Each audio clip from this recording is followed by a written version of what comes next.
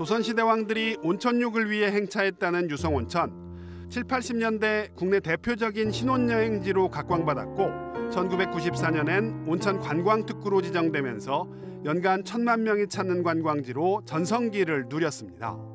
하지만 온천 문화가 쇠락하고 코로나19 사태까지 겹치면서 관광객 수가 10분의 1 수준으로 줄었고 대형 호텔들마저 줄줄이 문을 닫고 있습니다.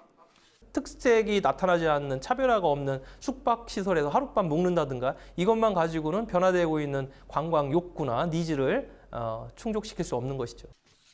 유성의 옛 명성을 되찾기 위한 유성 온천 축제가 이번 주말 대전 온천로 일대에서 열립니다.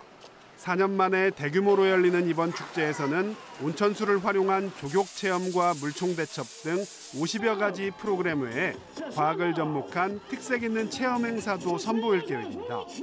대전 유성구는 이번 축제 외에 여름 재즈와 맥주 축제, 가을 국화 축제, 겨울 크리스마스 축제 등 사계절 축제로 관광객을 유치한다는 전략입니다. 계절별로 특색에 맞는 축제를 함으로 인해서 언제 오시더라도 다양한 즐길거리를 또 볼거리를 보실 수 있도록 쇠락해가는 유성온천이 축제를 통해 활로를 모색할 수 있을지 온천 축제를 찾는 관광객에게는 숙박비 일부 등 다양한 혜택도 제공됩니다. KBS 뉴스 송민석입니다.